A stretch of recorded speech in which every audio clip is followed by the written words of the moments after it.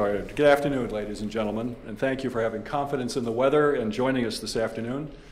Uh, it's nice to see so many familiar faces in the, in the audience. My name is Sandy Smith. I'm a trustee of the Concord Free Public Library Corporation, and on behalf of the corporation, I'm delighted to welcome you and our three distinguished panelists to what promises to be a lively discussion of the book Men of Concord and the relationship of its illustrator, N.C. Wyeth, to its author, Henry David Thoreau.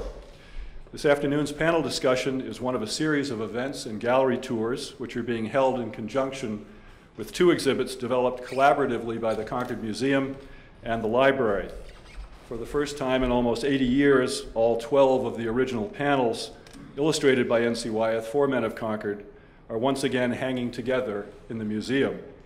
And just upstairs in our second floor gallery, up over the exit sign, where all 12 of the illustrations last hung in Concord in 1939, the library has assembled an exhibit titled From Thoreau's Seasons to Men of Concord, N.C. Wyeth Inspired, which tells the story behind the story, how the book came to be, why 18 years elapsed between the time it was conceived by Wyeth and the time it was published by Houghton Mifflin, and how five of the original panels came to be on permanent display uh, in, uh, here in the Thoreau Room just behind you. Three of the five panels are owned by the library, and two are on permanent uh, loan. Together, they represent the largest display of these uh, Men of Concord panels available for viewing by the public. In the spirit of Memorial Day, I don't think it would detract from your enjoyment of the exhibit if I share with you part of the story of how the first of these five panels came to the library. The library acquired its first panel in 1947. It was the carpenters repairing Hubbard's Bridge, which is the third one down here on the, on the easel. And it was a gift from Mr. and Mrs. Caleb Henry Wheeler in memory of their son, Second Lieutenant Caleb Kendall Wheeler, who was killed in action over Budapest on July 2, 1944. The correspondence between Ruth Wheeler and Wyeth was lost for decades, but was eventually discovered tucked in her copy of Men of Concord by another son and was given to the library in 1999, completing a story that began as a tragic family loss, but which set in motion a series of events that produced this enduring legacy to our community. Identifying these stories, nurturing those legacies, and presenting them to the public is what the Concord Museum and the special collections of the Concord Free Public Library are all about. This story and many other stories associated with these concurrent exhibits are told in two catalogs that have been prepared by the museum and the library. Copies of them are available for purchase either individually or as a set uh, at the museum and at the library during normal business hours. We have a few copies here today, uh, but uh, uh, if you are interested and uh, would like a set aren't, there aren't enough to go around, uh, you could leave your name with Marcy Eckel and we'll try to get one to you. Turning now to this afternoon's program, let me begin by thanking Concord Academy staff members Martha Kennedy and Billy Wyeth. Martha helped us interest David Michaelis one of CA's distinguished alumni, in joining the panel this afternoon, and Billy helped promote it within the CA community, many of whom are in town this weekend for their reunion. Now it's my pleasure to introduce Leslie Wilson, curator of the William Munroe Special Collections here at the library, to introduce this afternoon's program and our panelists. Thank you.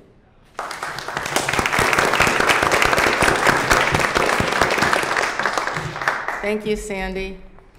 And uh, thanks to all of you for showing up today, and thanks to our panelists for coming and, and uh, being about to present a very lively discussion of the book Men of Concord and Wyeth's role and Thoreau's involvement in it.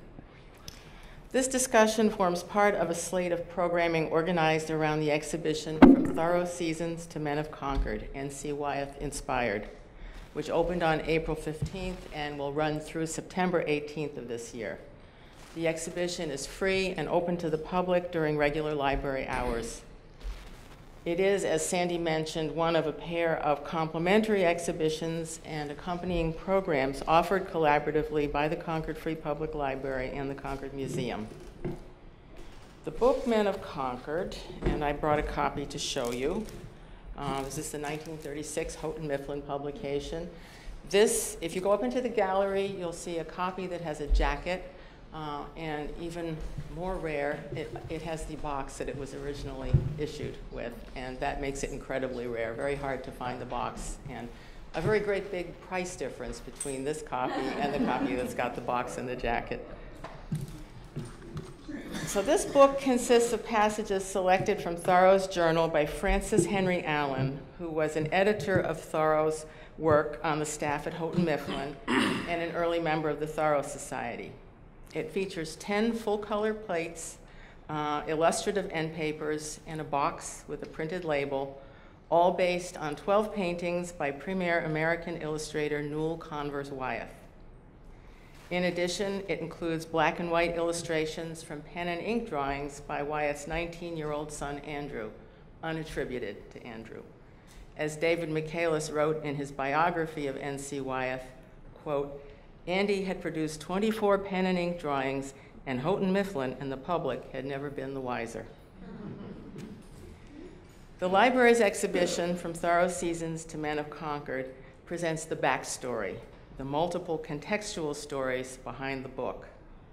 It does so through a range of materials manuscript and typescript letters, telegrams, printed books and magazines, advertisements, newspaper articles, photographs, and more. In its exhibition, N.C. Wyeth's Men of Concord, the Concord Museum has pulled together from multiple private and institutional collections, including the Concord Free Public Library collection, all 12 panels that Wyeth painted for Men of Concord, and some of the original pen and ink sketches. In bringing all of this together in our two exhibitions, the library and museum have been able to present a multifaceted interpretation of a relatively interesting and complex subject. And you might well ask just how important a book, uh, Men of Concord, is that it warrants such in depth exploration. In fact, I think a pretty good case can be made that it was not really all that important. It doesn't hold a place in terms of the transmission and dissemination of the text of Thoreau's journal, nor does it have special significance in relation to Wyeth's trajectory as an artist and illustrator. Aside from the particular local interest that the book holds in Concord, I think it's fair to say that its major significance lies in the way it reflects Wyeth's fascination with Henry David Thoreau. Wyeth felt pulled between his creative impulses and the demands of the marketplace, ethically compromised by his own commercial success. Holding up Thoreau's life, work, and integrity as a model that might be emulated and tapped for creative inspiration eased the artist's inner conflict over the troubling commercialism underlying his success as an illustrator. For this reason, it's no surprise that of the dozens of books he illustrated for various publishers, the book eventually published under the title Men of Concord. It was initially, his, his idea for the title was originally Thoreau's Seasons. Uh, Men of Concord was the only one initiated by Wyeth himself. Wyeth first proposed the idea of an illustrated Thoreau book to Houghton Mifflin in 1918. Since Wyeth's success as an illustrator brought with it a steady stream of commissions, he was effectively prevented from getting down to work on his Thoreau book in a timely fashion. Consequently, Men of Concord did not appear until 1936. As you can imagine, by the time he was finally able to paint the Thoreau series he had envisioned for so long, it had taken on a larger than life meaning for him. Today, Wyeth and Thoreau are both nationally significant figures. From my perspective, because of the great ethical, spiritual, emotional, and creative influence Wyeth vested in Thoreau, it is primarily for the connection between the two that Men of Concord is worth considering 80 years after it was published on the eve of Thoreau's 200th birthday in 2017. And that particular connection will form one of the major focuses of our panel today. Now I'd like to introduce our three speakers. Um, our panelists represent three perspectives, the perspectives of three different disciplines biography, art history, and Thoreau studies. David Michaelis, raise your hand, David. A graduate of Concord Academy and Princeton University, is the major biographer of N.C. Wyeth. His 1998 book, N.C. Wyeth, A Biography, was reviewed in the New York Times as a full scale, many voiced, deeply researched study and won the 1999 Ambassador Book Award for biography. It's still the definitive biography of N.C. Wyeth and a good read as well. His second book, Schulz and Peanuts, a biography, was published in 2007 and was recommended as one of the best books of that year by the National Book Critics Circle. David is currently writing A New Life of Eleanor Roosevelt. Alan Wallach is Ralph H. Wark Professor of Art and Art History and Professor of American Studies Emeritus at the College of William and Mary and Professorial Lecturer in Art History at George Washington University. He co curated the 1994 exhibition Thomas Cole Landscape into History, authored the 1998 book Exhibiting Contradiction Essays on the Art Museum in the United States, and co edited Transatlantic Romanticism British and American Art and Literature, 1790 to 1860, which was published in 2015. He's also worked on topics relating to Norman Rockwell, another successful and well known 20th century American illustrator, and has published over 100 articles on American art and art institutions. Alan has served as visiting professor at UCLA, Stanford, the City of, uh, City of New York Graduate Center, City University of New York Graduate Center, the University of Michigan, Williams College, and Berlin's Free University. In 2007, he received the College Art Association's Distinguished Teaching of Art History Award. And finally, Sandy Harbert Petrulionis is Distinguished Professor of English and American Studies at Penn State Altoona. A specialist in 19th century American literature, she has written and edited books and reference works and published essays, journal articles, and book reviews on subjects relating to the period focusing in particular on abolition, reform, and the life and work of Henry David Thoreau. She edited volume eight of Thoreau's journal as published in 2002 in the writings of Henry David Thoreau by the Princeton University Press. She co-edited More Day to Dawn, Thoreau's Walden for the 21st Century, and the Oxford Handbook of Transcendentalism, and edited Thoreau in His Own Time, a biographical, biographical chronicle of his life. Her book, To Set This World Right The Anti Slavery Movement in Thoreau's Concord, appeared in 2006. Sandy is currently working on a biography of Thomas Wentworth Higginson and co editing a scholarly digital edition of the almanacs of Mary Moody Emerson.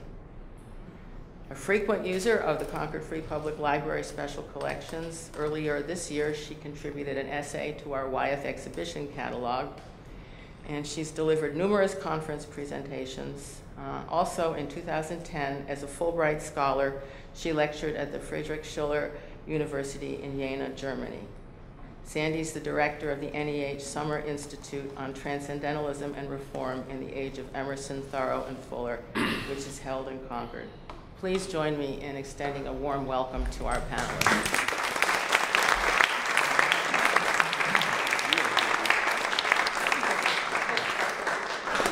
So I'd like to begin by giving each of our panelists a chance to uh, give a brief, hopefully no more than five minutes, but we'll give, we'll give them a little more if they need it, uh, summary of their thoughts on N.C. Wyeth, Thoreau, Men of Concord, and any subjects that they wish to, to add to that. So, shall we start with you, David?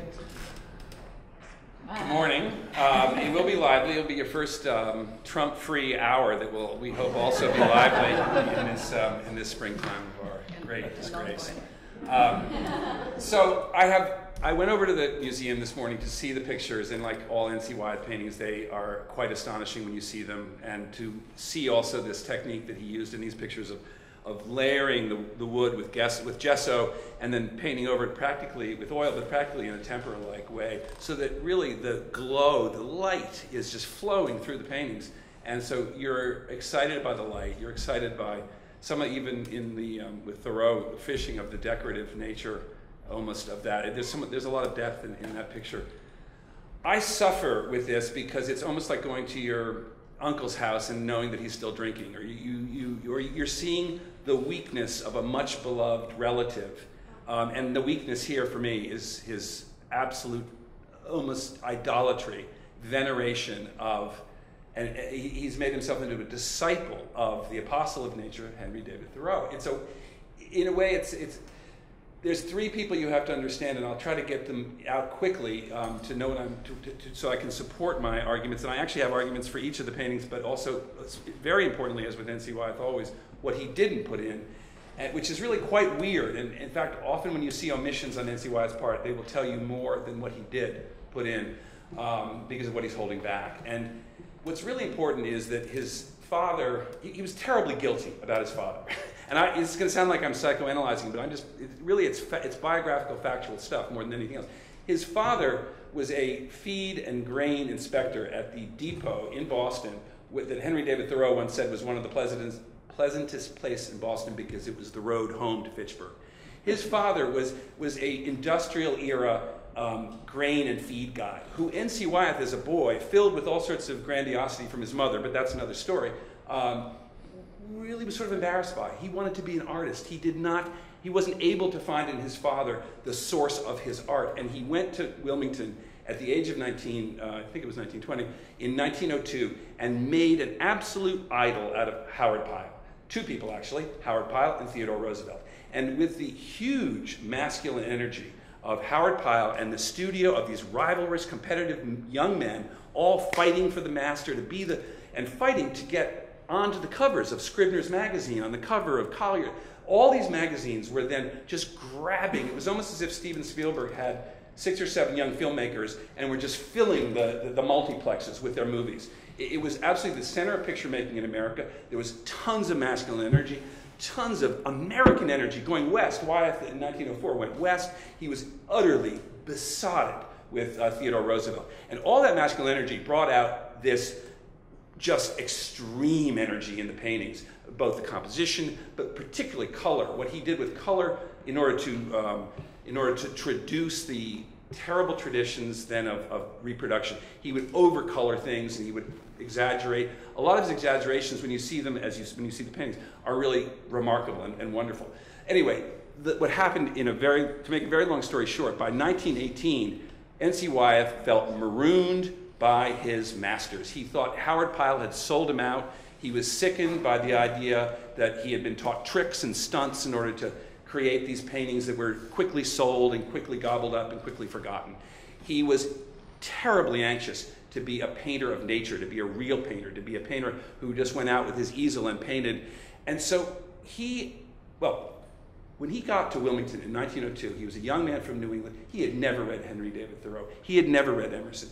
He picked it up from the Bockius family of Wilmington. He married Carol Bockius. It was her very bookish, blue stocking family of women who taught him about his own heritage. By 1918, he would tell you, Henry David Thoreau, you know, imbues my work. Henry David, well, he had. He picked up Thoreau and he had made a absolute other side of his, and he'd gone in a way into another part of his nature to, to define himself as a nature painter. The trick of N.C. Wyeth was that he took his observation, his eye, his utter love of nature, and bootlegged it into these illustrations. When you look in the backgrounds of all the illustrations that we love in Robinson Crusoe, you look in the uh, uh, uh, Kings of uh, King Arthur, uh, the Scottish chiefs, uh, Robin Hood, the, the, the sunny color, the saturation, the skies, the, the light, the air, it's all Chadds Ford. He was bringing this, this wish to be a brilliant landscape painter into the paintings, and some of them are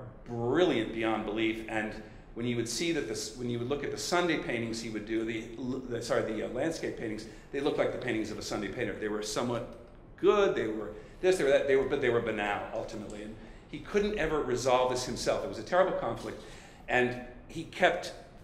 As soon as he, well, World War I came. Um, he didn't go. He had five choices, five chances to go. He never went. Harvey Dunn, who was one of his great rivals with Howard Pyle, he went. He became Captain Harvey Dunn. Uh, Wyeth was a, um, a best man in, in, Dunn's wedding. He was, he was by then embarrassed almost about his, uh, the, his inability to integrate his life and, and make a whole out of his life and his art. He was in 1918 suffering from a sense of having been left behind. He was suffering a great deal. He really embraced Thoreau that year, and that was the year that he, of course, as you heard, wanted to do Men of Concord for the first time. By 1922, he had done this very strange thing, which is that he had told himself that all his sources for art were back in Needham, Massachusetts, where he'd grown up. Needham, as you know, is not, not far. He went back to Needham. He actually pulled this off. He brought his whole family back and no sooner, long story short, had he arrived back than he realized he had made a terrible mistake because it wasn't the Needham of 1902. It was a commuter suburb. Uh, there were bank presidents living down the road. He had been getting away from a valley of what he thought of as rich men. He getting away from the, the, the, the values the Brandywine Valley were changing. Um, he now is back where he thought all his, his sort of simple, he made a great fetish of the simple folk, and almost the way Tolstoy did. And he kept finding it in Thoreau and pulling toward where he thought Thoreau was leading him, but it was a dead end. And all his kids wanted to do was get back to their Concord, their Arcadia, which was Chadds Ford, and his Arcadia too, by the way. And he had somehow tricked himself into all this. And when he left abruptly, you have to sort of piece through, as you always do with him, but you learn that his mother had by then contracted cancer. And the reason they left Needham all of a big sudden was that he couldn't face his mother's death. He was Wyeth was an idealist. He was a moralist. He, he twigged to the moralism of Thoreau. He was very judgmental of old friends and people telling them how they should do things. This is where he became a sort of preacher, uh, a, a, a, solemn, a solemn ass, actually. He became a solemn ass when he picked up the mantle of Thoreau and started telling people what they should and shouldn't do in art, and especially when he turned it on himself and said, You idiot, why would you spend all this time in illustration? Why? Because he was a great illustrator. That's where the energy and excitement of N.C. Wyeth is. And if there's time, I would get back to each of the reasons why I think Men of Concord both has and hasn't um, fulfilled N.C. Wyeth's vision. Okay, Sandy? Okay, thank you. Forgive me for reading my five uh, minutes of remarks because if I don't, I'll leave out something that I think is important and I'll, um, I'll bore you with rambling on about something I think is important that probably is not. so first of all, thank you, Leslie and Sandy and the museum staff as well for having us here. It's been my pleasure to be part of Wyeth Fest, and I've enjoyed getting to know the work of both of my esteemed panelists today, particularly reading your biography at length, David. It was, it was, uh, it was Christmas break, uh, all at once. Um, I'd like to preface my remarks this morning by invoking the artists, one literary and one visual, at the center of today's discussion.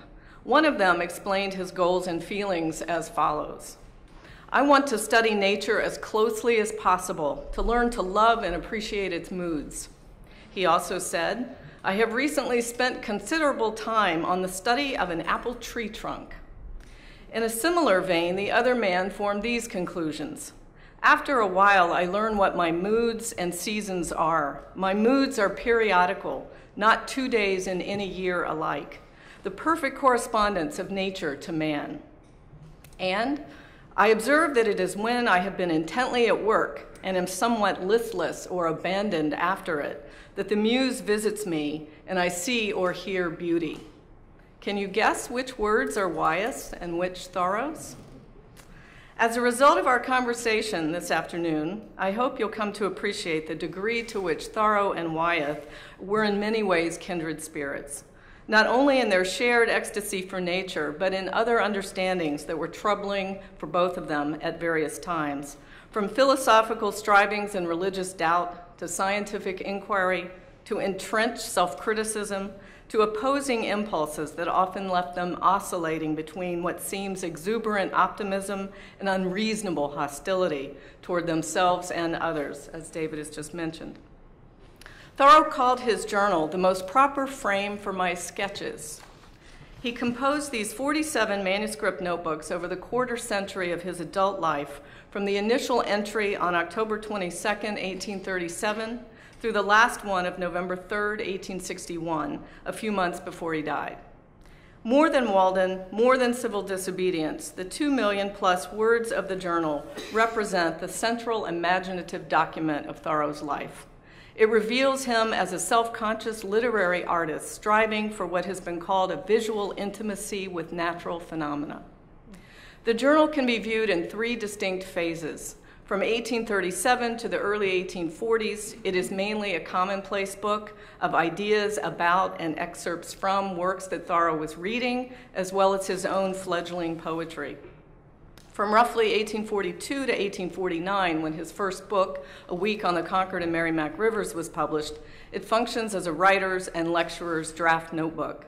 And then finally, from 1850 to 1861, over 85% of the entire journal spans these years. In the last decade of his life, the journal becomes a record of natural history, coalesced with the philosopher's insights as to the meaning of these observations.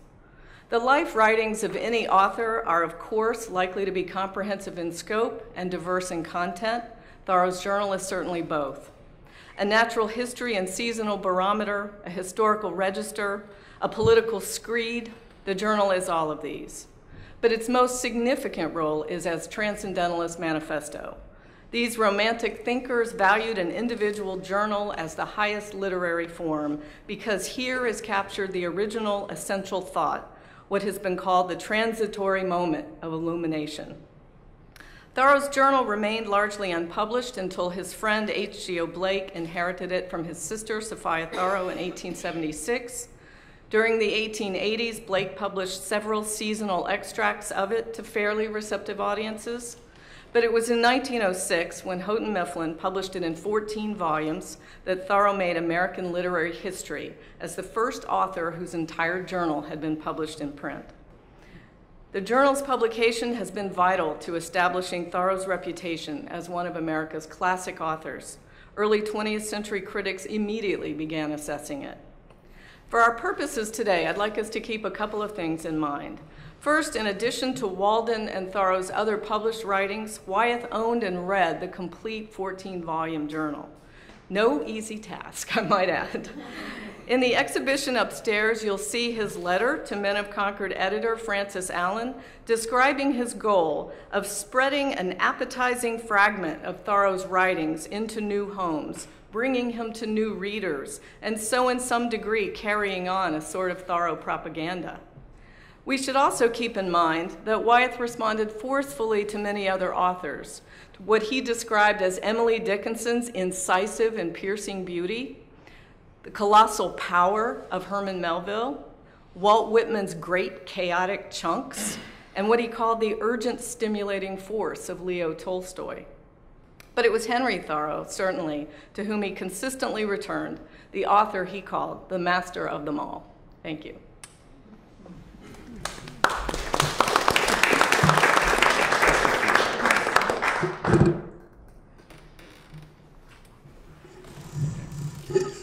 Thank you, Leslie.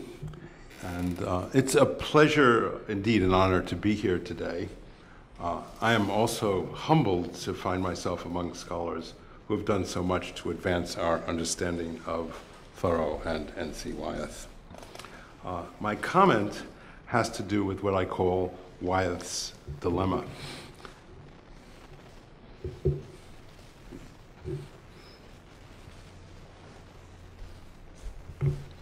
In 1907, uh, Wyeth wrote, quote, I want to be a painter, the word painter rendered in capital letters. He went on, and this is passages full of italicized uh, words. He went on, I respect illustration, but I want to be able to paint a picture, and that is as far from the realms of illustration as black is from white. Illustration is built upon superficial technique I want to paint a picture with nothing but a soul, with nothing other than a spiritual meaning, and I'll do it. End quote. 28 years later, he wrote, quote, the vitality of every important work of art lies in its autobiographical content, end quote. Wyeth's views were far from unusual. Since the 18th century, what has been called high or fine art has been defined in opposition to commerce and the grubby, self interested business of making a living or accumulating a fortune. The fine artist, liberated from traditional forms of patronage in the wake of the political revolutions of the 18th century, uh, was free to create according to his or her own inclination and desire.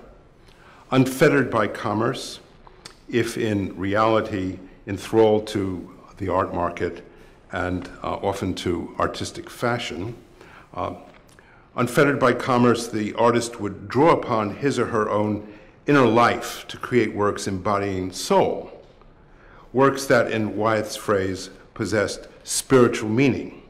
A true work of art would express, again in Wyeth's words, autobiographical content. Fine art was thus free of commercial interest or concern, just as in accord with the Romantic philosophical tradition originating with Baumgarten and Kant, true enjoyment of art was disinterested. With the rise of the avant garde in the second half of, 19, of, the 19th century in France and elsewhere, art was also increasingly freed of narrative or anecdotal content. The truly modern artist cast off the legacy of the academies, abandoned the conventions of traditional landscape, history, and genre painting, and instead produced works that registered the artist's sensibility, his or her feeling for nature, or in the work of the most daring avant gardists of the early 20th century, simply his or her feeling for form itself. We live in a postmodern era, one in which the division between high and low, fine and popular has diminished, if not entirely disappeared. And while we admire Wyeth's uh, Walden Revisited, and perhaps even esteem it as his masterpiece, work we're looking at here, we also can appreciate the inventiveness the power of an illustration like Wyeth's Old Pew. An expressionist composition that. Oh, oh.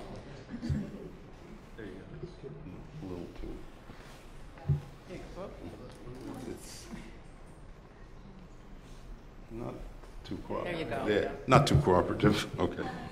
Uh, we can also, um, we can, where, where am I? Um, we can also appreciate the inventiveness, the power of an illustration like Wyeth's Old Pew, an expressionist composition that terrified me as a child and uh, frightens me still. this is not a display of what Wyeth disparaged as superficial technique, but the work of an inspired artist. Although Wyeth, oppressed by the art ideologies of his day, probably couldn't recognize it as such.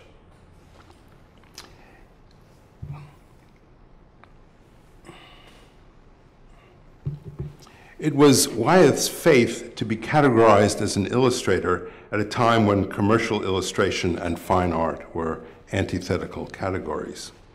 By contrast, from the beginning of his career, Rockwell Kent, Wyeth's exact contemporary, both were born in 1882, enjoyed the status of fine artist.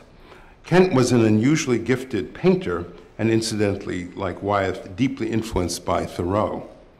Active in New York's avant garde during the opening decades of the 20th century, in 1917, the 35 year old Kent had the satisfaction of seeing one of his Monhegan Island landscape paintings, a somber expressionist work, purchased by the Metropolitan Museum of Art.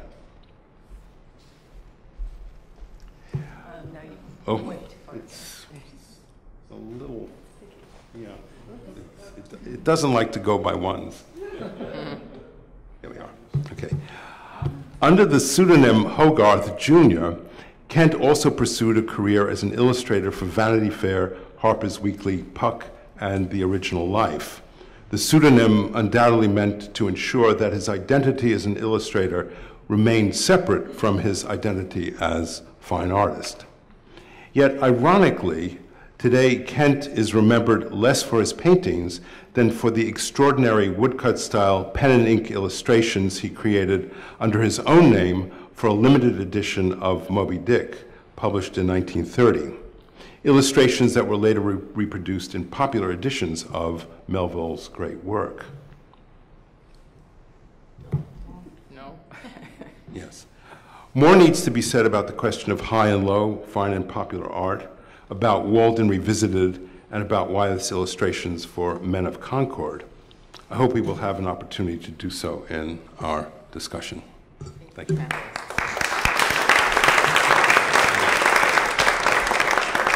the remainder of the program, I'm going to throw out a series of questions that will allow our panelists to expand on some of the ideas that they have already expressed. And uh, with any luck, we'll have some time left at the end of the discussion for any of you who want to ask questions uh, to throw them at the panelists as well.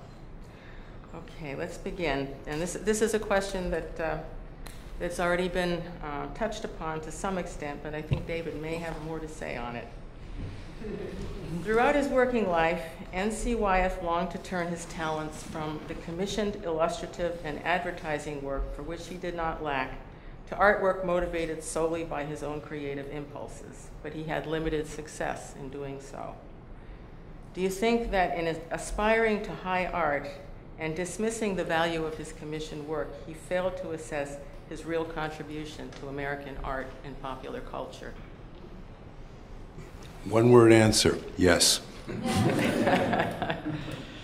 Yeah, I have, Uh, no, I would. I have a one-word answer, which is practical. N.C. Wyeth was the son of a plain sense practical New England grain and feed merchant, and he saw in himself this streak of practicality. And you see it in his, a lot of his actually uh, painting, uh, illustrations. Um, the Mysterious Island is all about uh, Yankee know-how during the Civil War, and these guys look like Wyeth, young Wyeth men in New England doing practical good work. And his belief in and veneration of the simple folk. I mean, in some of the paintings, the, even the farm implements are sort of sanctified as, as objects of, of veneration.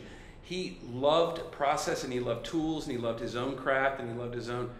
But it also did him in because he, I think the, the question is, did he, he didn't understand his contribution partly because he couldn't, partly because only until you actually see the original paintings do you really understand what he was doing in the size and, and, scale he was doing it at, in terms of color, in terms of composition, in terms of feeling. I mean, the feeling you get standing in front of uh, some of the Treasure Island paintings, such as Alan just showed, you really, it, it's awesome. And, and if you, you encounter them as a child turning the, the tissue, there's a whole bit of showmanship that's going along with each presentation.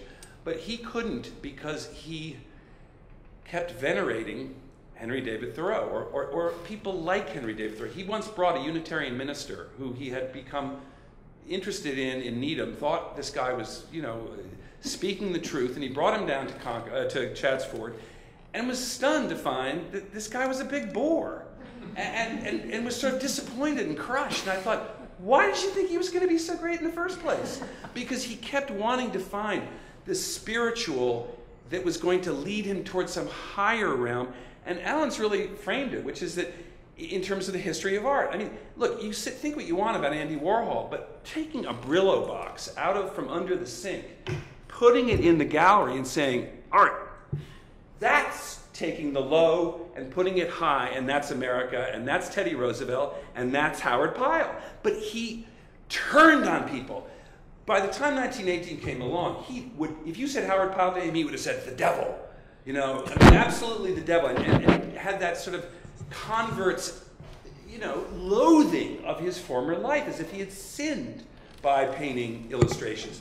Wyeth literally couldn't integrate, you know, his passions, his life, his art, and that's really the answer to the question: is that he, he, he was too, he too much wanted to be what he never could be, which was himself.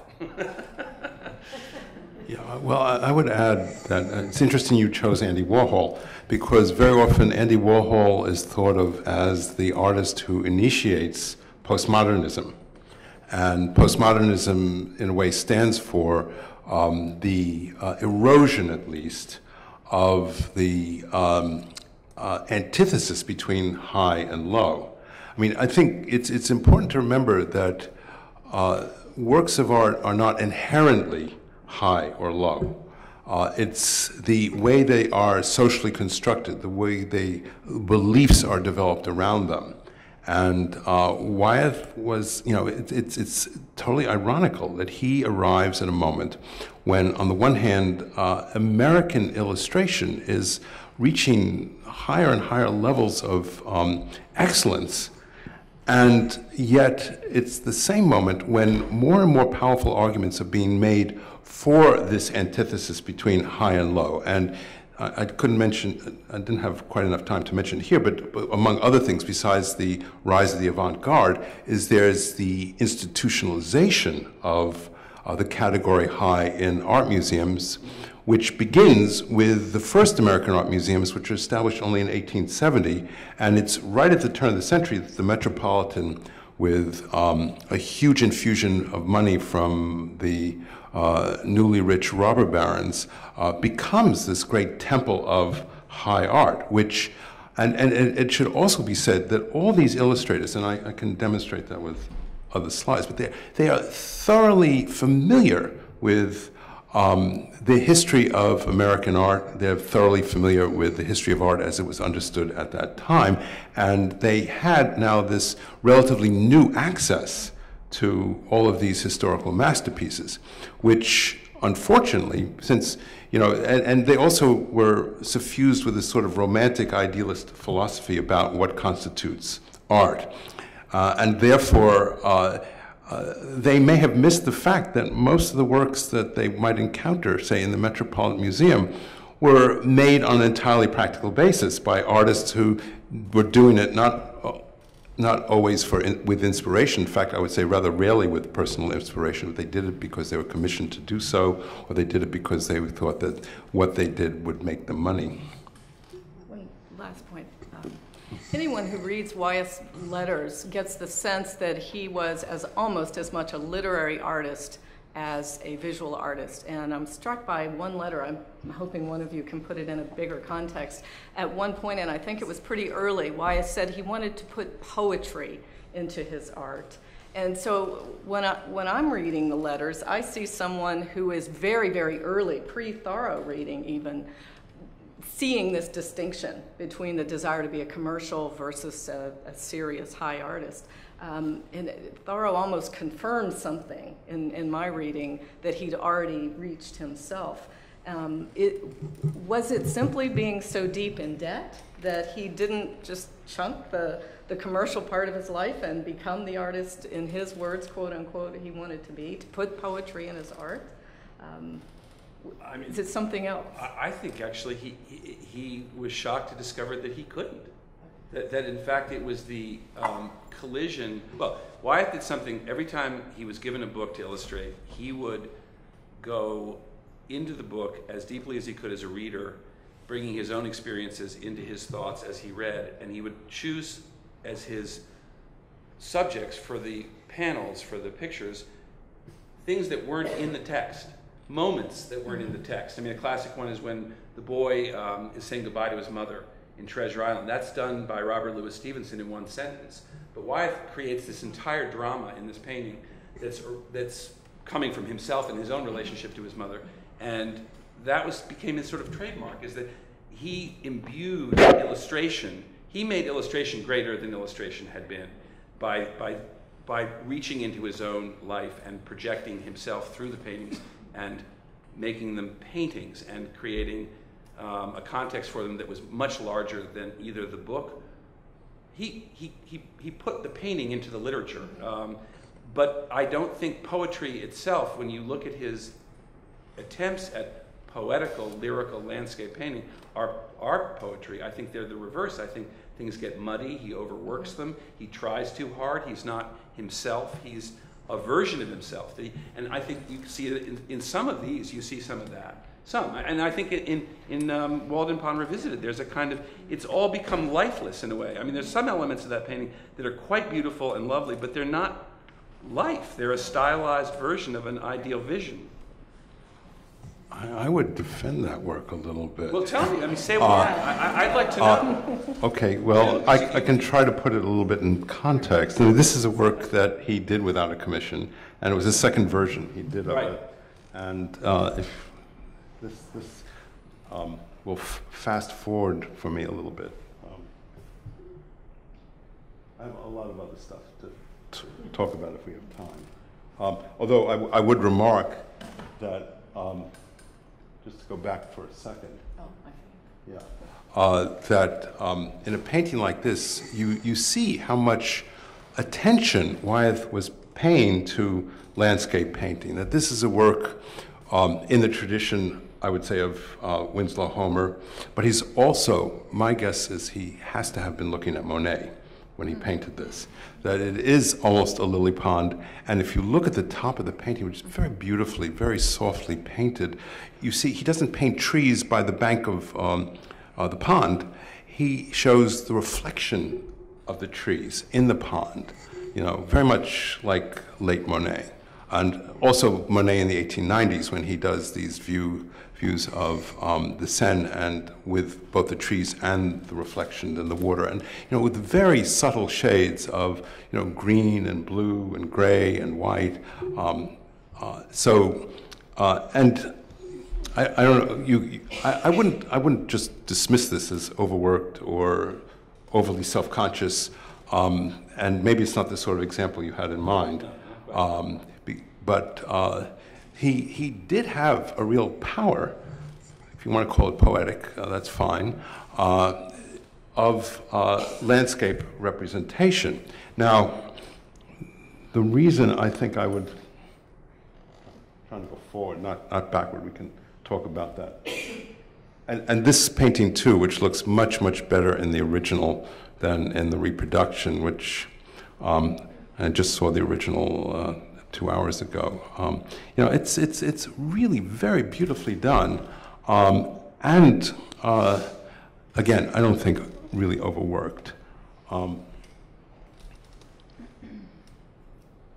okay, so when we look at this painting, you could say, well, the illustrator's instincts are still very much at work, and there is a whole narrative here with the fox, with uh, Thoreau's cabin, with the pond, with the uh, church that he uh, resigned from, uh, with the Fitchburg Railway, with, and, and, finally when I got to see the painting, uh, I was able to make out the fact that the smoke that issues from the locomotive rises up all the way over the trees, over Thoreau's head and off to the, the left. And it introduces, I think, a very um, ominous sort of note, and I think quite properly so, that this is um, this is, you know, embodies his concern about what Leo Marx called the machine in the garden. Uh, but also, this is a work, you know, it, it, it, we're talking in a way about taste, and maybe David and I have different tastes, but um, I see it very much of its period, that it has, uh, you know, it has a very cool palette, it is very stylized. Um, I would align, uh, since um, uh, Wyeth wasn't really a fan of uh, modernism per se. Uh, didn't like futurism, for example. Uh, he, nonetheless, I think his work aligns with the work of the regionalists of the 1930s um, going into the 1940s. That this extreme stylization of landscape, and I think he does it beautifully here. Um, you can see it in the work of I can get it on the screen.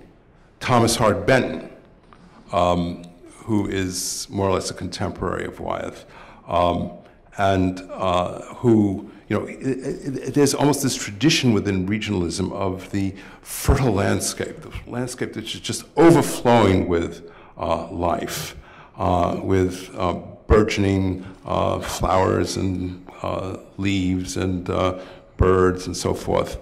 Uh, you see it in this sort of stylization in the work of Grant Wood. And these two artists were very, very popular at the time. Uh, they were scorned by the avant-gardists, um, indeed scorned by avant-gardists and uh, uh well into the 1970s. But they are a part of this history. And they did, I think, you know, um, compelling work that you would call compelling. Maybe it's not your favorite work, but I think Wyeth aligns with it, and certainly that painting, uh, uh, uh, Walden Pond Revisited, is up to the level of the work of these two uh, regionalist masters.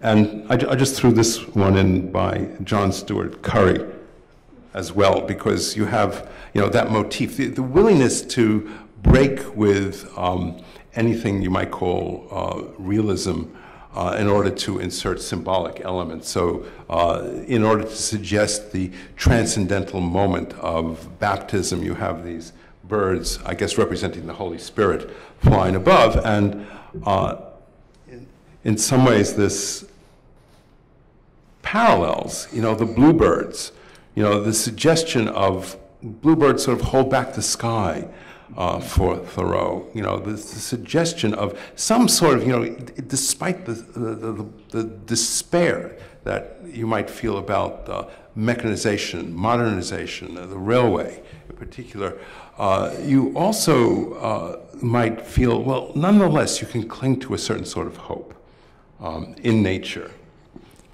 So, uh, as I said, there's a great deal going on here, and you might feel with David that this is a little overworked or overly self-conscious. No, I, you're changing your mind. No, no, not at all. what, I, what, I, refer to as overworked were, were la his landscape, literally his landscape paintings in Chadds Ford. But what I see with this is, uh, well, what I see with the Grant Wood and what I see with the uh, Thomas Hart Benton are you could not say that that's anybody but Thomas Hart Benton or Grant Wood that doesn't look like N.C. Wyeth to me. That, that looks like a kind of retread of the style of the time by a guy who's trying to do something, but it's not him.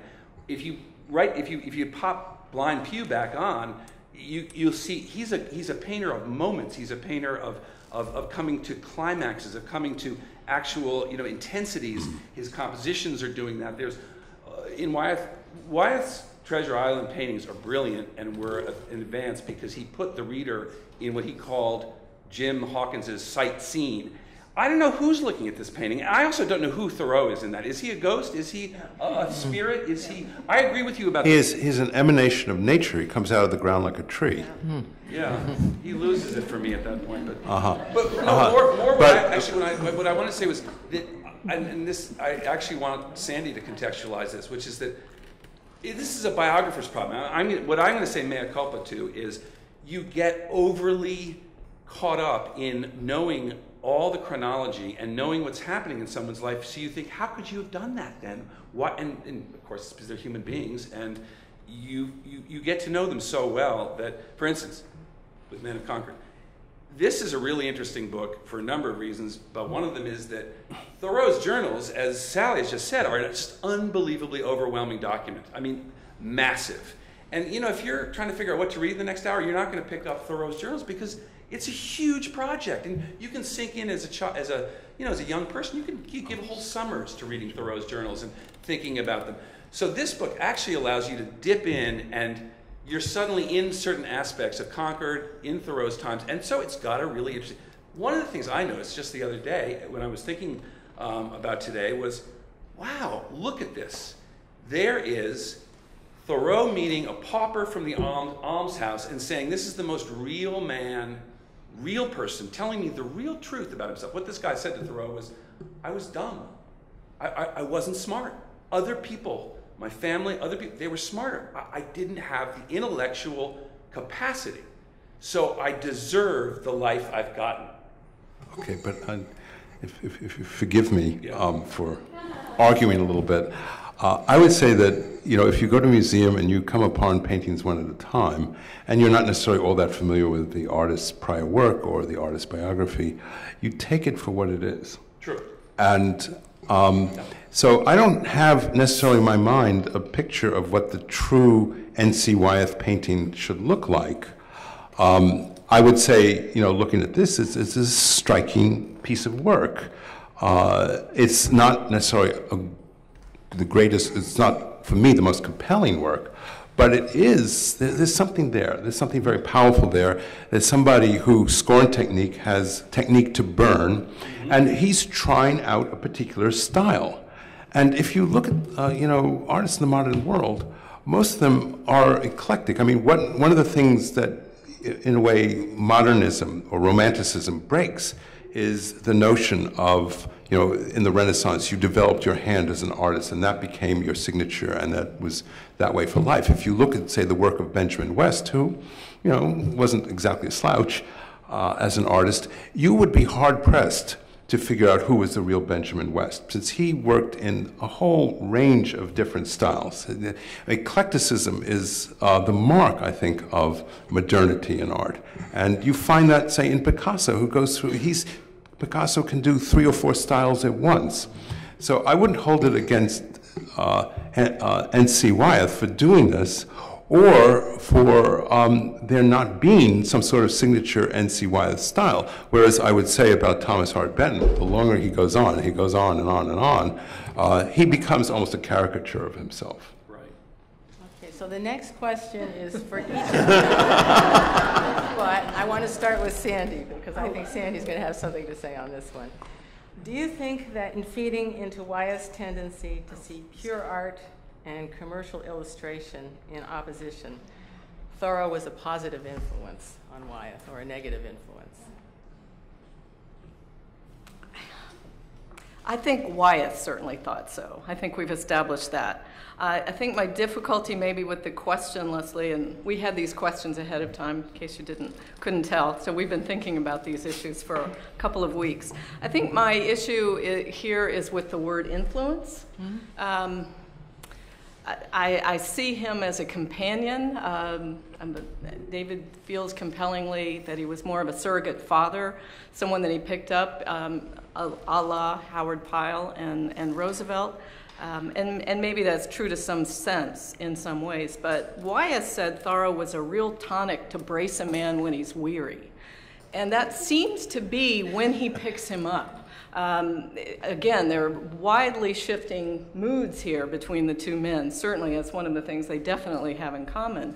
Um, and they need solitude, and they run and they grab it and they and they cherish it. Um, Thoreau could do that a little more readily, although, um, you know, unlike Wyeth, he didn't have children, an increasing family, and a, and a wife to support.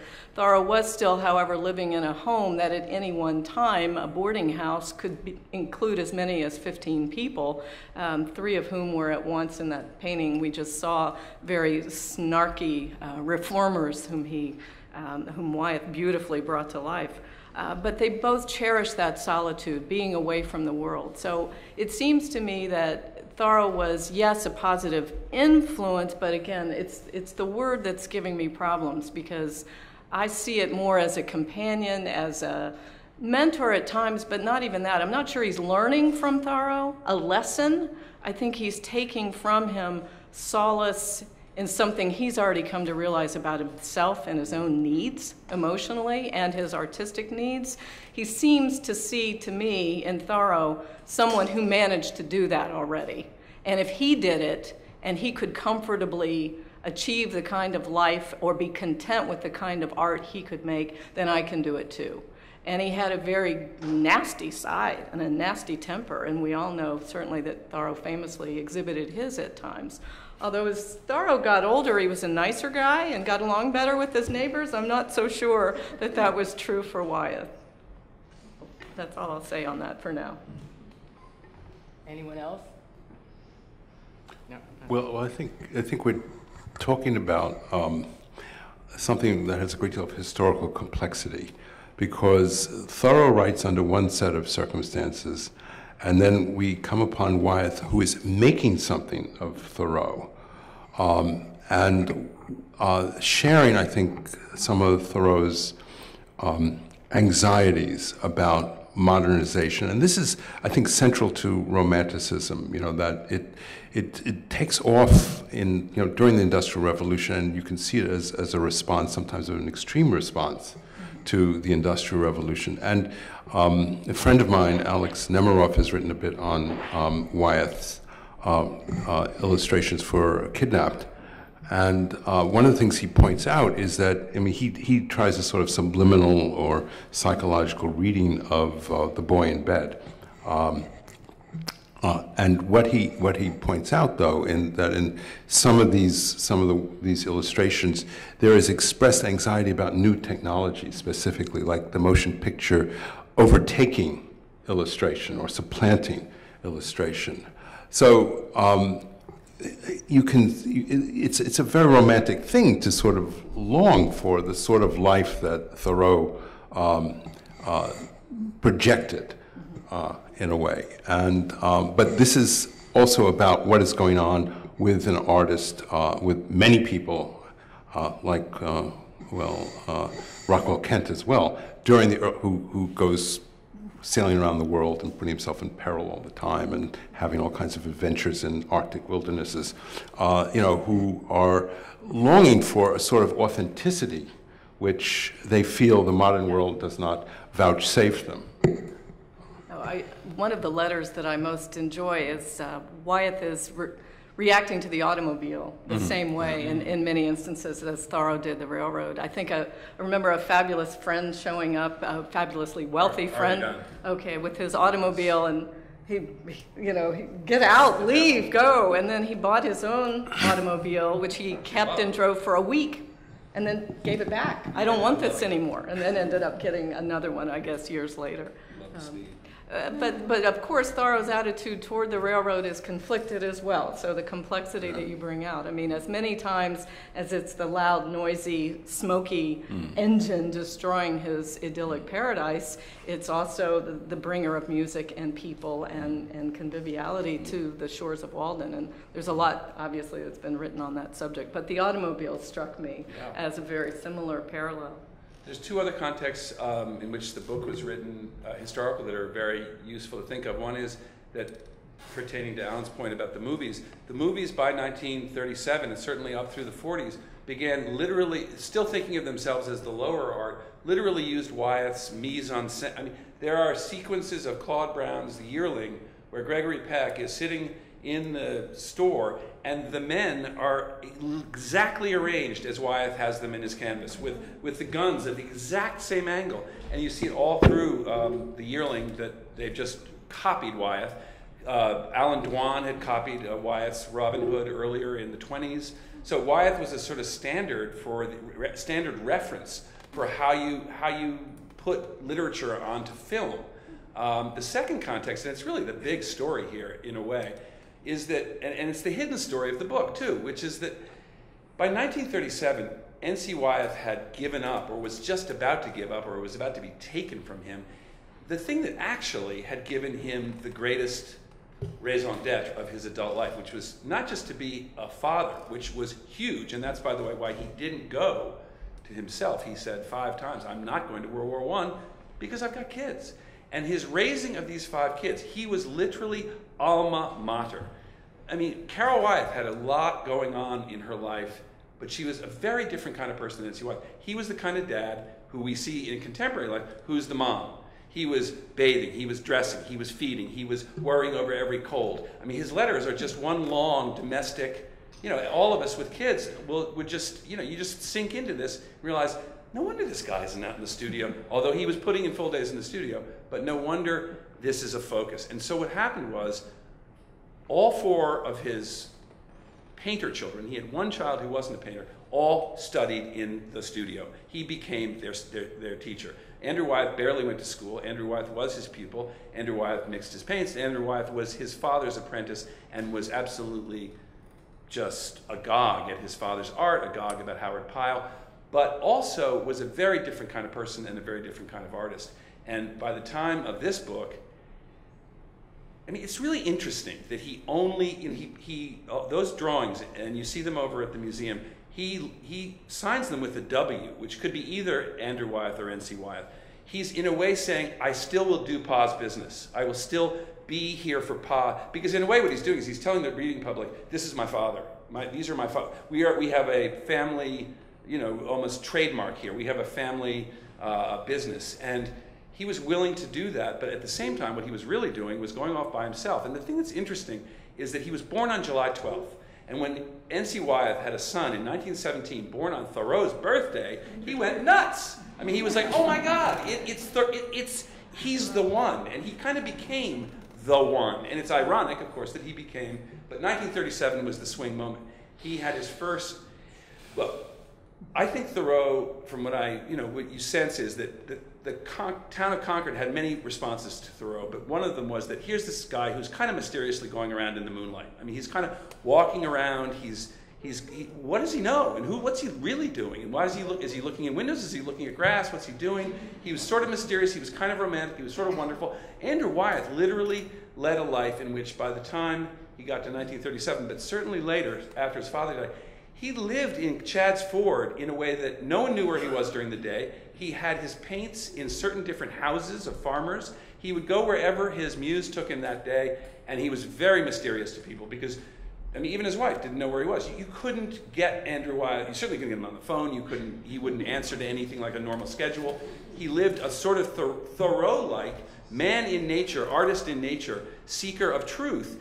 That N.C. Wyeth, I mean, N.C. Wyeth wouldn't have dreamed of having his paints in someone else's house and being literally a kind of eye hovering over the landscape in a Jeffersonian kind of perfect, you know, uh, fusion with, with, with, the American landscape, which is what Andrew Wyeth was beginning to achieve in Maine in the summers of 35, 36, was literally out every day on rocks, swish, swash with watercolor, just putting down this landscape in this extremely exciting way. And when he brought them all to N.C. Wyeth, who he was terrified of, because what his father said to him over and over again was, "You've got to put a, you've got to tell a story. You've got to." If he had a beautiful, if he had a man walking across a field, uh, an early temper of Andrew Wyeth's, N.C. Wyeth's response was, "You have to put a gun in his hand."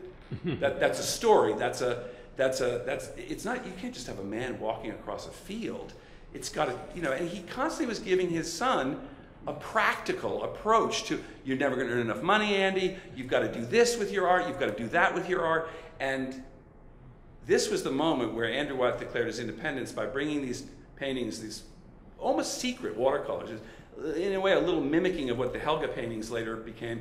Of I've been off doing this totally on my own, and now I'm bringing these to you. And he looked at them, and he his head was just taken off. He couldn't believe what his son had done. That he was finally really had created a real landscape painter in the family. And N.C. Wyeth went to Andy Wyeth's opening at the, at the, Macbeth Gallery. The whole family went, and he sold out. I mean, it was this exciting moment in, in American art. The same gallery where Winslow Homer had shown.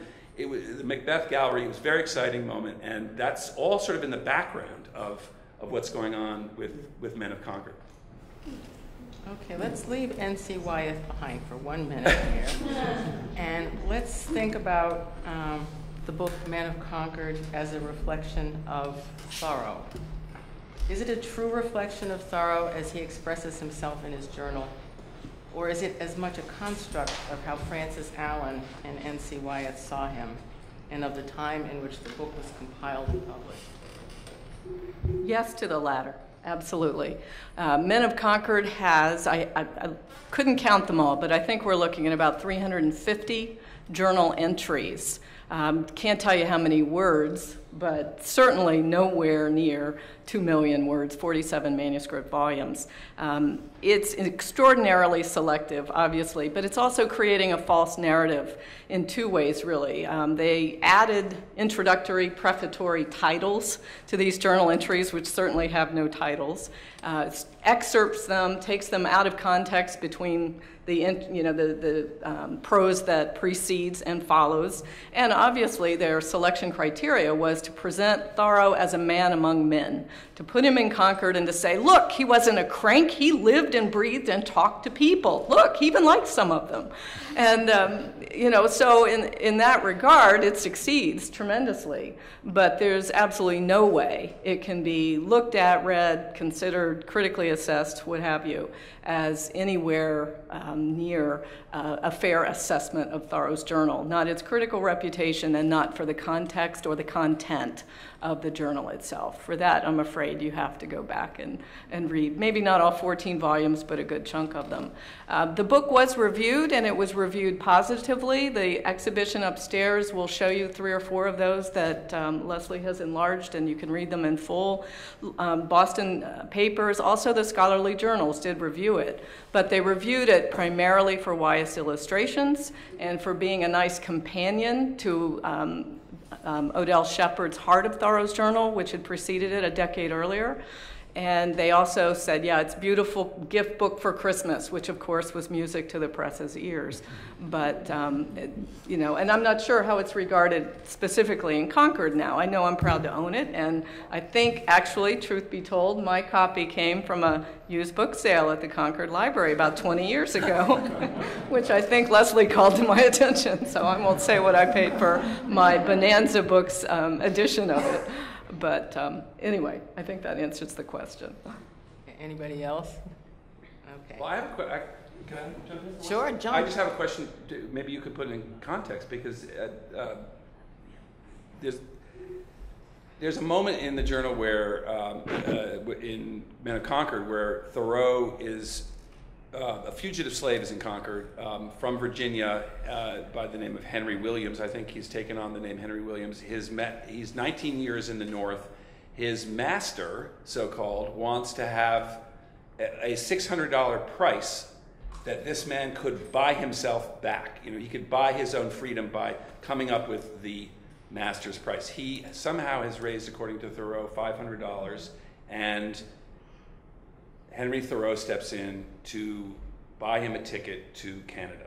So he goes down to the depot, but on his way to buy a ticket, so that this story will have a good ending, and he sees instead what he believes to be a Boston policeman. And he kind of, I think, veers off, and I think that's where it gets left. He gets him off the next morning. He does get him He off. He does, yeah, but he won't buy the ticket that day. He does it the next morning. And the thing that, I mean, I'm sorry to bring this back to Wyeth, but it, it's, it's, it's per- pertinent to my question to you, which is that to me was an, a huge missed moment for an N.C. Wyeth painting. I mean, I could so see not just Henry Thoreau Yep. meeting those, as you said, Yeah. perfectly done, snarky reformers, Right. but that looming policeman, the whole idea. Eh, yeah. Also, two Henrys. I mean, this Black Henry, Henry Thoreau, and I just thought, what, what, is, what does that entry, how is it in context of the anti-slavery movement, of the kind of things that were happening here, and is it representative? I mean, your book to the anti-slavery movement here would, is, is a good backdrop to, to all of that. There are certainly many moments like that, but that is absolutely uncharacteristic as a Thoreau journal entry. It's the only journal entry we have that gives us any information like that. Um, we have another instance two years later of a very similar situation, another man from Virginia also being hidden with the Thoreaus, but we know about that through someone else's autobiography, actually, that he showed up to see Thoreau for a hike that day and they couldn't go because this Thoreau was tending along with his family to this other visitor. So it's, it's not representative of the journal, but it's certainly representative by 1851, the Fugitive Slave Law having been passed in 1850, of what was happening in Concord. But I agree with you, I was flabbergasted um, to remember in reading this recently that, oh, Henry Williams is in here. I forgot that that journal entry is in Men of Concord because it seems like the kind of thing that Wyeth would have been all over. Um, I make a case, I think, in the catalog essay for the way he does get across Thoreau's political reformist anti-slavery sentiment by dealing with the three reformers who are so hypocritical. Right. And so I think he's dealing with the character of Thoreau and what he's trying to say in that entry rather than the adventure. But it's a, it's a missed drama. Like the whole anti-slavery movement, however, you want to talk about what Spielberg has missed. He should talk to me sometime. but he doesn't come calling. Okay, so uh, it hasn't escaped local notice that the book Men of Concord is rather deficient in representing the women of Concord. While this no doubt says something about the social hierarchy of the world that Thoreau inhabited, as well as that of Allen and Wyeth, do you think that it also says something about Thoreau's and Wyeth's personal attitudes towards women? Go for it, Sandy. Well, as the woman at the table.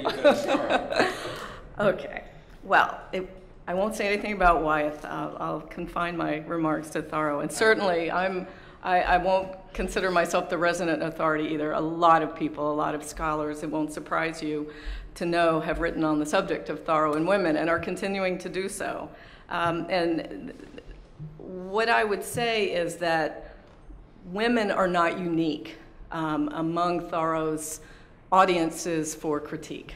He certainly goes on anti tirades, um, if you will, anti remarks about uh, the anti Irish. Um, certainly about gentlemen. There's a brilliant, lovely piece in Men of Concord about gentlemen as a class and what he has to say about their artificial manners and their concerns with living and dressing and speaking and being and being regarded in a certain way as opposed to you know being real human beings like the pauper at the almshouse. Um, but certainly he has some very negative and hostile things to say about women as a group too. Uh, but it strikes me, and I've read them over and over repeatedly, um, particularly for um, an evaluation of his relationship with Mary Moody Emerson, whom I'm working on. And Thoreau really doesn't say anything hostile about women as a group, except in the entry that is in Men of Concord, where he's praising Mary Moody Emerson for her exalted intellect and for her intellectual acumen and so forth, and her generous response to his own writings. Um, he does that by denigrating the fact that she's so much more than a normal woman. You know, she rises above her sex. And by that, he's talking about a woman who talks too much, cares about how she looks, worries about being fashionable, uh, the cologne that smelled up his pocket after he carried Elizabeth Oakes Smith lecture. Um, and really, the same sort of things Mary Wollstonecraft herself had said about certain, quote, types of women. Uh, so for me, when I evaluate Thoreau's relationship to specific women, I think we approach a, more honest appraisal of how he felt. He didn't like people a lot at certain points in his life, and sometimes they fell into groups, be they women, be they something else. But Thoreau's relationship with individual women, young, old, uh, Mary Moody Emerson's a case in point, Sarah Alden Bradley Rip, uh, Ripley, um, certainly uh, Margaret Fuller, it was a difficult relationship, but it was a mutually ad- admiring one. Um, other, young women, Louisa May Alcott had him on a pedestal that Emerson never reached. Um, you know, Thoreau took her out to Walden Pond and told her that bedewed cobwebs were fairy napkins. I mean, he was Pan, he was God of the woods, and you know, she was writing um, Emerson fairly um, challenging letters to say that his eulogy of Thoreau at the funeral was not fitting to the time or place. So, I mean, his relationship with Sophia really is, is so close, it almost brings to mind Wordsworth and his sister's relationship. So, I think those are more instructive from the standpoint of what was really going on in real relationships. Um, he was accused of being a, a, misanthropist in his lifetime. He's accused of being a misogynist in ours. I think probably both of those claims overreach um, for their time and their place. But I don't know about Wyeth. mm-hmm. well, I was going to say one thing. It struck me that his uh, Thoreau's um, characterization of the woman lecturer catches a kind of New England wit that yeah. Wyeth loved, and he says something like, you know, leave it to the woman's rights lady to also expect you to be exactly. a ladies' man. Right. You know, sort of getting at the hypocrisy of, of we're going to go back to old gender roles and relationships even as we're going to push forward. Wyeth said something revealing in one of his letters about Thoreau said, um, I, you know, I'm pounding the table. I love, you know, Henry did all this. I'm going to do all this with Henry. But there's one area you can't follow him in, and that's in his relations with between a man and a woman. And he just wouldn't, um, you know, he knew that there was a limit to his God in that area, and I think was clear about it. Um, he was not a great, he was not, women's rights groups, women, N.C. Wyeth had women in one category. He was not so great with his own wife in giving her kind of the room. His approach toward women, even his own daughters, was, was extremely discriminatory. Um, he was an old-fashioned Victorian man. He had a, he never advanced into the modern age. I mean, from the automobile to, to the to the train that finally killed him, um, he, he stayed in the past. I, think I remember one letter where he's talking about Emily Dickinson, and he's just taken up with the power of her writing, but he particularly then responds to her as the only woman artist who reaches this level, or something like yeah. that. I was just yeah. struck yeah. by it because it's so late. It's something like 1934, I think. Hmm. Okay. Yeah. Okay, well, I have other questions that I can ask, but I would like to give you all an opportunity to ask a question or two. I'm sure there must be some in the audience, so yes. I'd like to ask a question to the honest historian. Who was the greater talent, Andrew Wyeth or uh, Harriet Wyeth or uh, Carolyn Wyeth? I can't answer that question, I'm sorry. Yeah, okay. Oh, well, uh, I, I think that um, uh, we, we put it, you know, if you put artists up on pedestals and you say, you know, great, greater, greatest, uh, you lose something. You lose something. Oh, yeah, yeah. Well, Andrew Wyeth is, of course, the, the, the best known of the three. So, and I must confess, I don't know the work of the other two. Um, now, whether that's my deficiency, the deficiency of the art world and art historians, I can't say. I think you'd be most surprised by the work of Carolyn Wyeth. uh, not that she's underrated, or, or, or, I mean, the Brandywine River Museum has actually done a great job over the last 40 years of, of really giving all Wyeth painters and Brandywine Valley painters, uh, and that's one of the great things of the local museum movement, I think, is to really honestly evaluate and give airtime to just about you know everyone who deserves it. So they haven't been under ignored. But if you own Carolyn Wyeth's paintings and had them with you in your house, I think you'd be knocked out by them. She's really strong painter. Not to say that any more than the other two, but you'd be surprised by how strong a painter she is.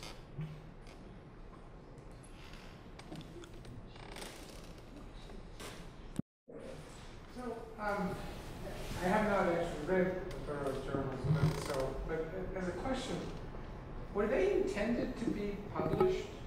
Because I mean, journals you think of as sort of rather personal and so forth.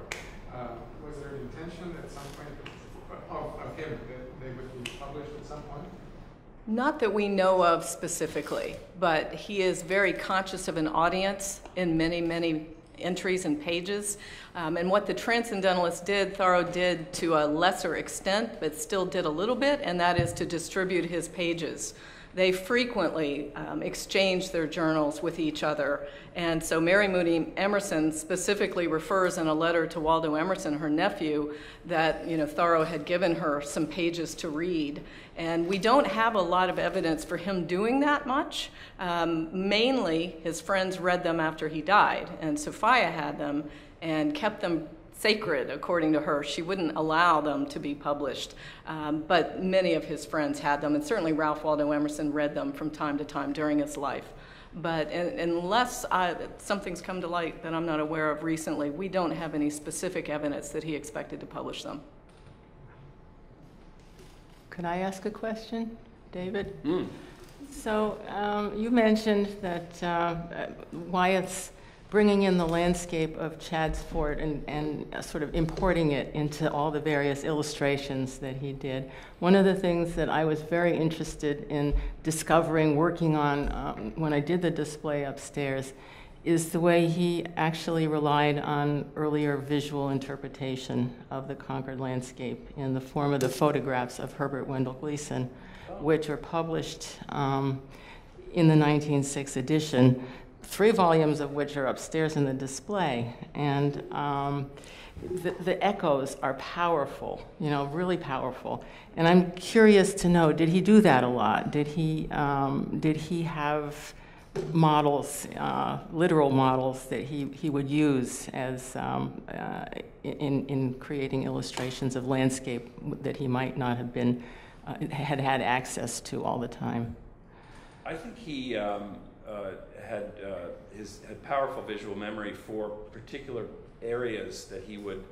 But I think with landscape, um, much more I think of it as an imaginative response that he's then bringing alive at the easel. Whereas what you're describing uh, about the earlier Concord photographs, he absolutely did that with figures. Mm-hmm. You know, he was he was religious. I mean, for instance, probably with the Thoreau figure there, about getting the exact kind of fishing creel that would have been used at the time, or the pole. He, he was extremely conscious of prop and of costume and of, um, of accuracy, of being thoroughly accurate about uh, that tool. Maybe would have he would have looked it up to see whether he was not he was getting the right saw for the kind of cross, the kind of saw that would be used at that moment. Um, so uh, that's what I think of in terms of when I think of him being almost photographically um, precise. Not so much about landscape, but I mean, I don't think of him as looking at photographs for landscape, but um, that's interesting about Concord. Well, if you go up and take a look at, Yeah. at those three volumes, you can see that there's a dab of paint on this, the, on one of the volumes, which is like a dead giveaway to me, Yeah, that he had that book open when he was working on a painting, so, Yeah. yes. Um, a quick remark in that, um, in that vein to, the, to your question. I'm just struck by Mary Moody Emerson. Um, she didn't knit. She detested any sort of frivolity uh, that would be naturally associated with women. And Wyeth wanted to find an image of her. We have a letter upstairs um, where he's asking someone at the press to see if he can find him an image, and there was not one. Um, the only thing that existed in his lifetime was a youthful silhouette, black and white, uh, you know, cardboard um, kind of thing. So he's invented this entirely, and I think he's got the Emerson face down perfectly. But she's an elderly woman, despite the fact that they would have been having this intellectual conversation about Thoreau's journal, or her journals for that matter, her hands need to be busy knitting, and that, that's pretty striking. Um, I, I, would point out that um, the illustrators of the early uh, 20th century, uh, like Wyeth, uh, were the heirs of academic um, history and uh, genre painting, and uh, of the type that was very popular and uh, in the academies in Europe and the United States during the 19th century. So, and they, if I can get back to it, just bear with me. you know, this is this is a painting that was done. Uh, well, I can have an even earlier one. Uh, this is by a fine artist uh, who this work was um, uh, featured at the um, Centennial Exhibition in Philadelphia in 1876. It was shown at the Royal Academy when it was completed and very warmly received uh, at the time. And uh, this is by an artist, fairly typical, I would say, of the history painters of that period, who were very, very concerned to get every detail right, to get every detail of costume right, to make it as entirely plausible as possible. In other words, to be the most convincing vehicle for ideology you could imagine. Um, so this is a photograph, rather miserable crop photograph of that painting, but you can see the easy translation from history painting uh, to illustration. So what was high and what was presumably popular or low, you know, for, for uh, that epoch uh, didn't make much of a difference. It becomes, you know, after 1900, as I think we've already said, it becomes really acute. Any more questions? Barbara. Um, I was intrigued by the initial uh, proposal to do the Seasons of Concord and then the change to Men of Concord. And I wondered, was that a political uh, Houghton Mifflin decision or was that driven by N.C. Wyeth, what he wanted to paint, or what's the story there? I think I can answer that, yeah. So um, Wyeth's first idea was that he was going to use Harrison Gray Otis Blake's selections from Thoreau's journal that had been published in the 1880s and 1890s, and they were seasonally organized. Uh, and one of the first things that he did after he decided he was going to do Thoreau's seasons was to write a letter to Francis Henry Allen, who was kind of uh, an important Thoreauvian. And Allen got back to him and said, uh, you really don't, you shouldn't be using Blake's journals anymore. You should be using the complete journals that were published in 1906 as the manuscript edition. And so, uh, and then Wyeth said, I knew that, and, um, and, and sort of adjusted his thinking.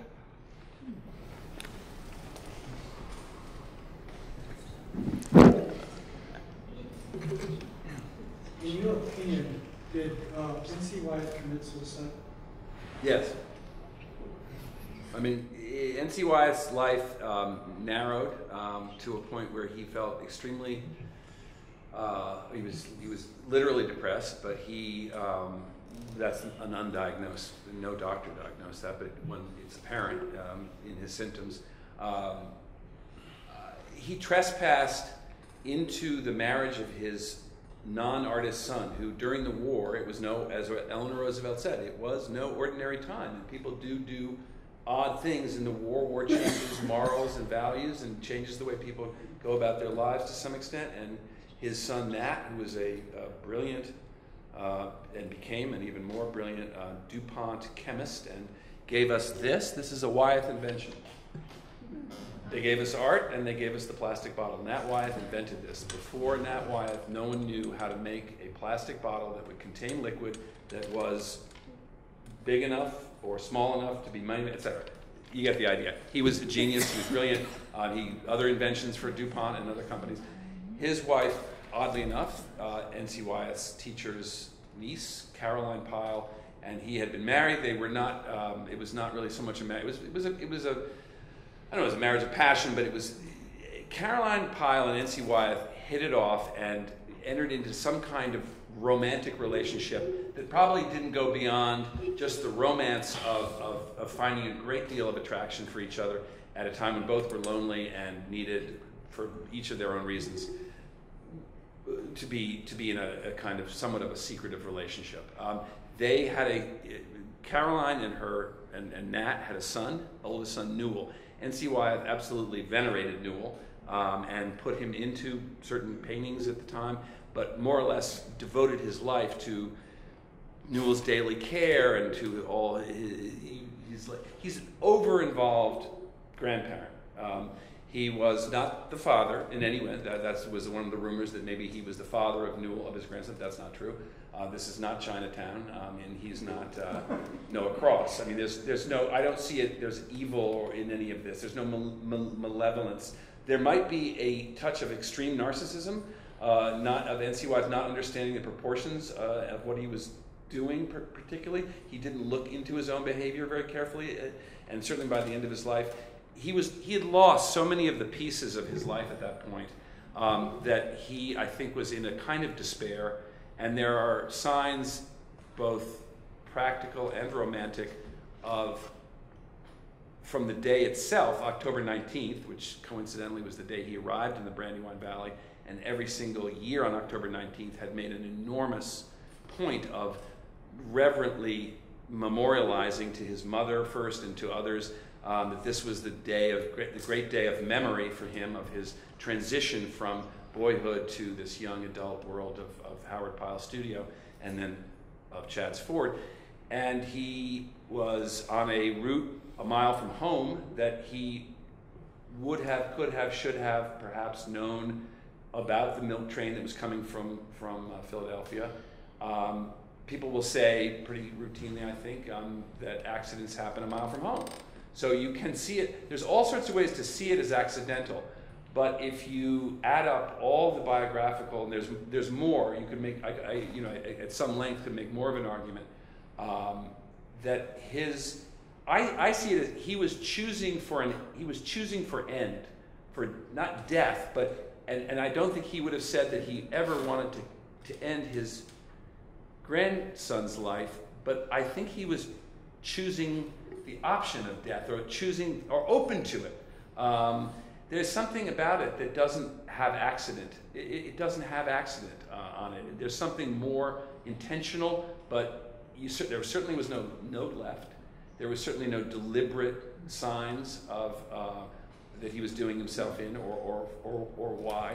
It's just seeing his state of mind at the time as, as nakedly as you can. There's a couple of things that were said at the time that you know, he was heard by a farmer. They stopped the car just before the railroad tracks to get out. He said to his grandson, Look at this. They were seeing shock corn in a field uh, in the bright sunlight. And he said, Look at this Newell. You'll never see this again. This is something that's ending. There's a sort of October light, dying light quality to a lot of the kind of things that people said about it afterwards that sort of read into a sort of maybe suicidal um, pointing towards suicide?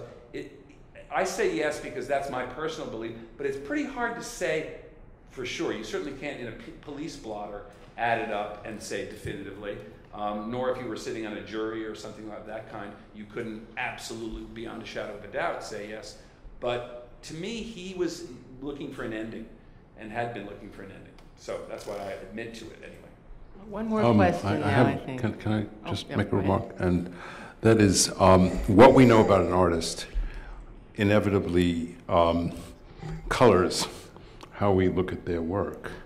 And um, when I started looking at uh, uh, Walden Pond Revisited, uh, with the, and I, I, had to make sure looking at the painting because the reproductions never quite show it, but the, the smoke from the locomotive comes all the way up the valley, gets darker and bigger you know, enlarges over the trees and continues all the way to the left edge of the canvas.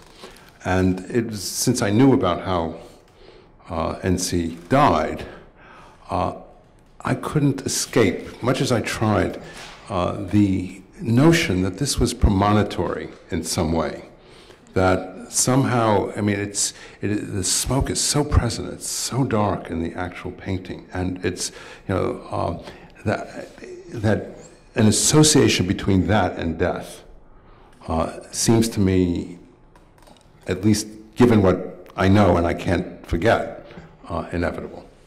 Bravo! I, I till this till you said this an hour ago, I had not seen that, and to the- going as far as it does, I completely agree with you. Yeah. All right, we have two more questions, and then I think i- if anybody wants to come and chat with the panelists briefly afterwards, ha- have some refreshments. Yes, sir. Uh, David, you mentioned that uh, he left, was it Needham, Needham. short notice, that his mother had cancer. Is there any evidence that perhaps he developed it later in life and knew, the way people do, Yeah. that Very good there question. isn't a lot of hope out there at that time? Yeah, no, that's absolutely right. Um, you know, I haven't heard, um, I don't know that there's a record that I found ever that suggested that, and that certainly wasn't a narrative that was told in the family and told in ways that I would have picked up on, and the letters don't suggest it, but it's a worthwhile thing to look into. I mean, you may be right, it's, it's very possible. A lot of his life has that quality to it of, of people falling into um, medical, essentially medical conditions that go un, unrecorded and, un, and then they know. But yeah, it's a, that's a very valid way to, for someone to start researching it, re-researching it. Bob?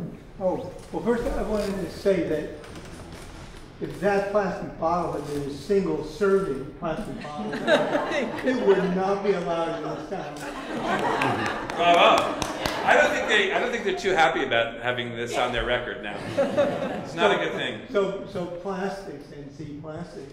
Um, It's ironic. The, the, the question I want to ask you is, if I understood you, you're, you're suggesting that in becoming obsessed with Thoreau, Wyeth derailed himself from what he was really great at and ceased to be his authentic self as an artist.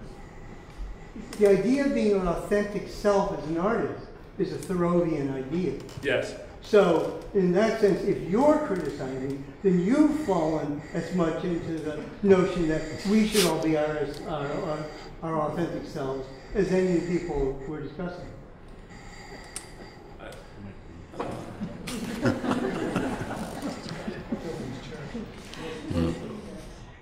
I'm, I'm not quite sure I understood the last part. Um, what I'm saying, I guess, um, 1939, that boy Newell appears in an N.C. Illustration as a young blonde prince who's fighting a two-headed dragon. Uh, excuse me, a two-headed giant. Two-headed giant. It's in his book. It's Jack the Giant Killer, and it's in his book of 1940, the anthology that he painted in 1939 of children's literature. If you look carefully and you know the story and you look carefully at the giants' faces, one is Caroline Pyle and one is N.C. Wyeth. So he has psychologically made himself into a giant that he shares as sort of, they're, they're like parents looking down in this sort of sweet way at this boy. That's where Wyeth gets complicated and really interesting, and that painting you would love to have in your house. It's an extraordinary painting. But, but, but, but, but, I mean, there's a giant in Concord in the book, a Littleton giant who, who is bringing coal to houses. And Thoreau talks about how he does all these strategies to make himself smaller. And Thoreau says, like all giants, he had a small heart. Big man, small heart. There's just a complexity to that giant, that Littleton giant, that I would have thought N.C. Wyeth would have grabbed for. But no, it's Thoreau. Excuse me. You know, we have to get all holy about it. That what bothers me about N.C. Wyeth's Henry Thoreau discipledom is like all disciples, there's only so much you can do in that church. And, and, and then you're going to be prescribed by certain things. And I think he just proscribed himself as an he he he he with he withheld his true self. I, I guess, you know, I might be overstating the case saying he couldn't be his true self. I just think it, I mean, for instance, Thoreau says Mary Moody Emerson is the most witty, vivacious person I know. Not that old crone knitting and with her bonnet on her head. That's not the most witty, vivacious. Why is he doing that? I don't understand. Why is he making her into this slightly banal old lady at the best? And Thoreau looks really uninterested in this picture. He looks like a waxworks. I bet Alan would agree that the most interesting things in the painting are the shadows. I mean, they're the most alive kind of elements of the painting. I do and so agree. that's where I think I do agree. he's just always holding himself That's back when, when it comes to Thoreau. But the shadows make the painting transcendentalist. Yes. It's the symbolism Yes. of the intellect that's going on. yes, exactly, almost like But- So he got it. But I, I, I would say that, that Bob's question, if I'm hearing it right, is that the very notion of authenticity is ideological. It's, a, it's, an, I, it's something we believe. It's not an inherent reality. And what I think you're saying is that we are easily, uh, we are also susceptible to um, the notion of authenticity, and that authenticity, the, the quest for authenticity, or what we believe is authentic, drives us also in our lives. And that if we begin to look uh, a little critically at figures in the past, uh, we begin to see what their belief systems are, and we may want to, you know, correlate that with, you know, we see then why they do certain things and why they don't do certain things. Thank you, panelists, for the lively discussion we were all